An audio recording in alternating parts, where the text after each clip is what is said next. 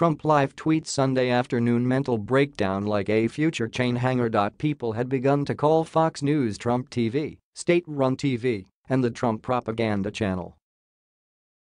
That might still might be so for some of Donald Trump's best buddies in the evening such as Tucker Carlson and Sean Hannity. Now though, POTUS is trying to get weekend anchors fired for telling the truth aka journalism. Trump tweet attacked weekend anchors Arthel Neville, Leland Vittert, and Shepard Smith.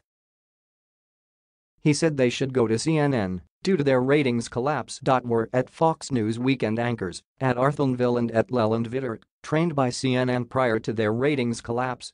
In any event, that's where they should be working, along with their lowest-rated anchor, Shepard Smith.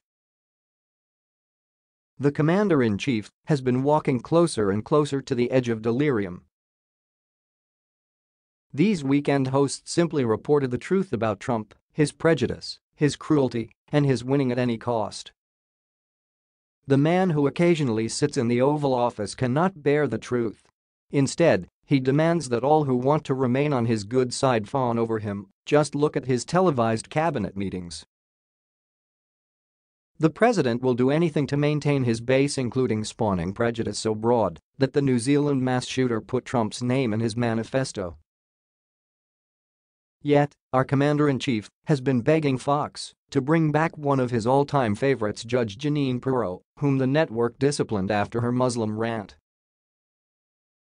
Trump said, Fox News must fight back with vigor. The radical left Democrats, working closely with their beloved partner, the fake news media, is using every trick in the book to silence a majority of our country. Fox News must stay strong and fight back with vigor. Then, the president of these United States urged the network to not worry about being politically correct.